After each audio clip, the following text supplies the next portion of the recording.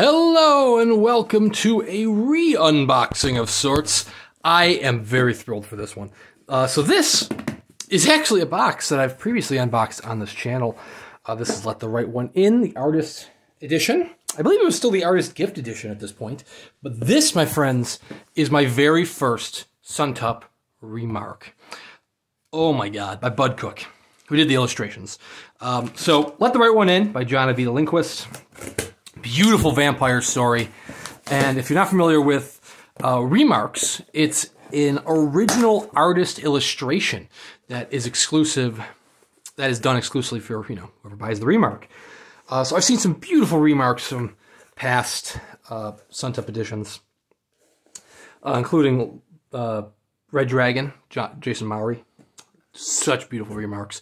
But I've never been able to swing one. So um, Bud Cook is doing remarques for Let the Right One In.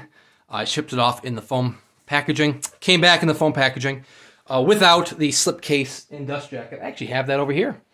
Got the dust jacket with Eli on it and the Rubik's Cube, the Speed Cube. Right there, a taste of Bud Cook's illustrations. The dust jacket waiting to come home to the book itself. And of course, the, the slipcase as well. Because no need to send those off. No need to be careless.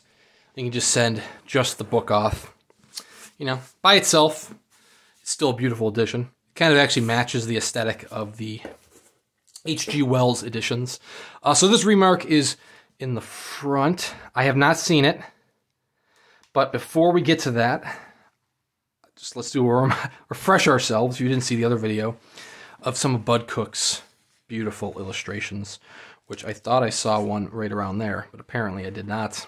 I don't want I the anticip I don't I want to look at it, but I don't want to look at it yet. I got to build up to it. There is Slumber Eli slumbering away. The original piece is available on Bud Cook's site. I believe it's budcookstudios.bigcartel, I think.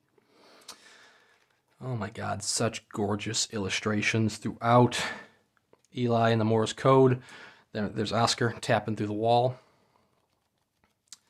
To Eli. Oh my God. So, just these are what we're looking towards with this remarque.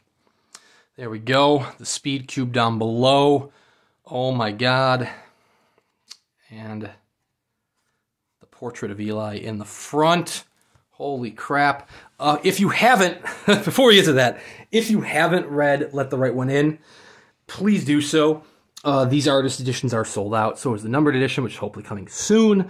But it is such a good story. Be sure to check out suntup.press because it is absolutely incredible works of art that they are producing. Uh, there are actually some uh, unslipcase versions that were just sold like little spare copies, PC copies, if you will. Uh, this, of course, is the artist edition, which is going to feature, you know, Bud Cook's signature in the back. So it's his signatures in the back, and his original artwork is in the front. Oh my God, this is incredible.